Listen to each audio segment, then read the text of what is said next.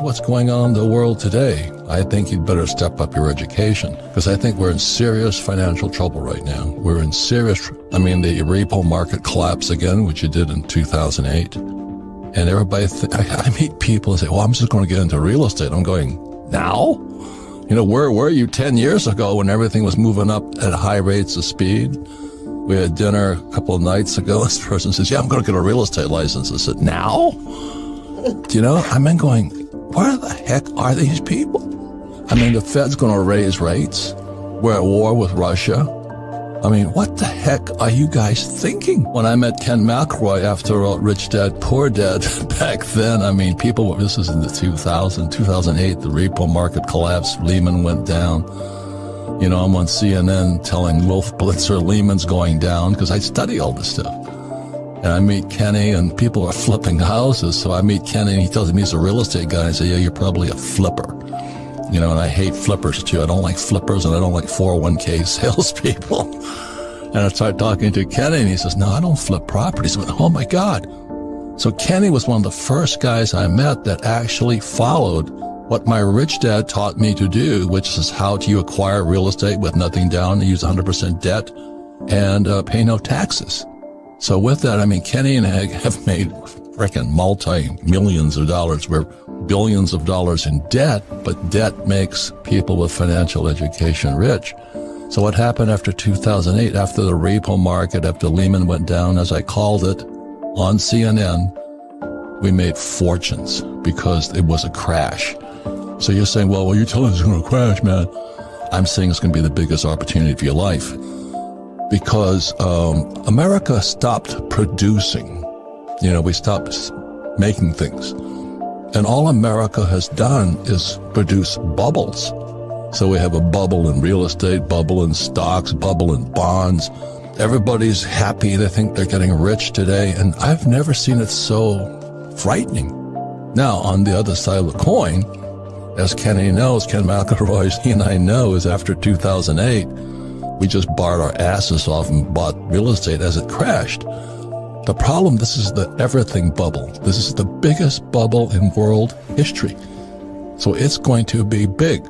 So John and I, like, like I said, rugby players playing for the Hawaii Harlequins rugby team. And I'm talking to him and he's telling me about all the rich people we knew in Hawaii mm-hmm. who are going broke. I'm going, you got to tell that story. Because as I said, in 1974 was the first uh, 401k. It was called ERISA Employee Retirement Income Security Act. And I was still in the Marine Corps and I was flying out of Hawaii. Um, and I went to listen to these pitches on how to sell a 401k. And I said, these guys are lying. Because the advantage I had is I had a rich dad and I had a poor dad. And my poor dad was the village idiot. He was a PhD, which stands for poor, helpless, and desperate. He ran the school system for the state of Hawaii, and he thought the 401k was wonderful.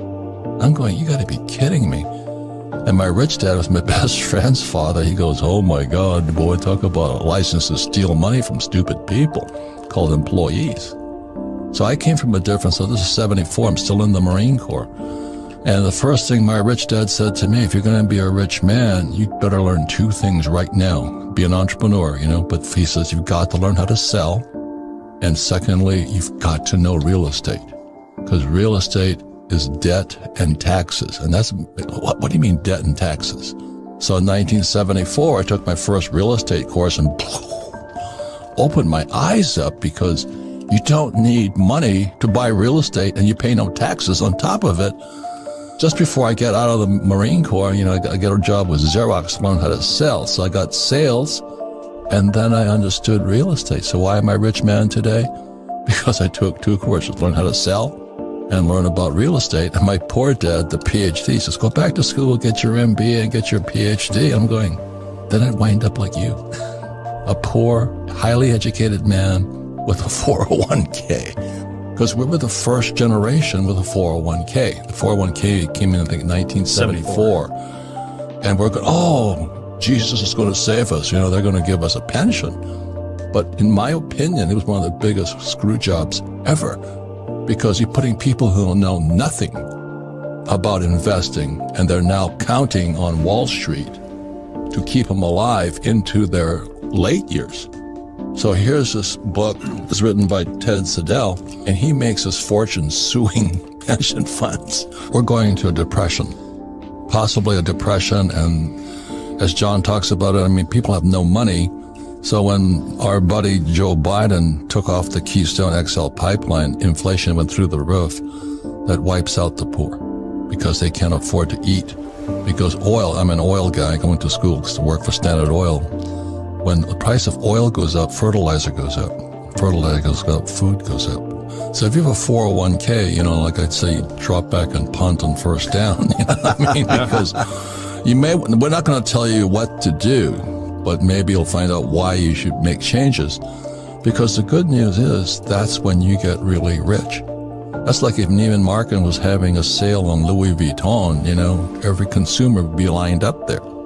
But I, was talking to this woman the other night. She says, Oh, I finally got it.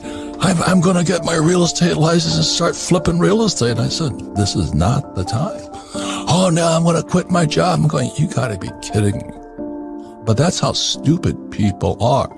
So this is going to be the biggest bubble in world history that's going to bust. I think America's going into the next depression. We're at war with Russia.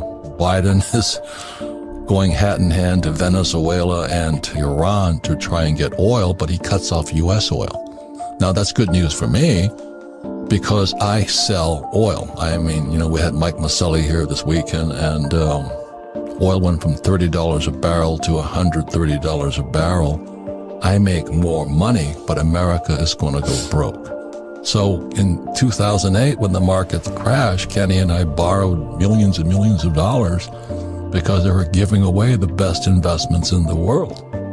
And it's going to come again, but this time I think it's going to be more pain than last time. And it's really interesting because being an entrepreneur, one of the first things my rich dad taught me, is, says, if you're going to be an entrepreneur, the purpose of a business is to buy real estate. And people go, what? No, it's supposed to, no, you buy real estate with it. And the average person has never heard that. And I use debt and I pay no taxes. And then what most people don't know is that in 1971 is that the Nixon took the dollar off the gold standard. So the dollar became debt. They could print it and they had to raise taxes to collect the money back. And again, the problem is power is the ability to change. And that's really the sad part. You know, it's like we had Dr. Nicole, you know, she can tell them about diet and exercise, but people don't have the discipline to change. This weekend, I was really, really kind of disturbed by a couple of people who've been with me for years. They haven't done anything different with me. For 17 years, they do the same old thing. They cannot change, but they're smart people. They just cannot change. Like I was talking to people I've known for years. How much gold have you bought? None. How much silver you bought? None. How much real estate have you done? But we read your book. Yeah. And I go nuts. That means there's something really effed up inside of you. I mean, you have a you have a definite block to be poor.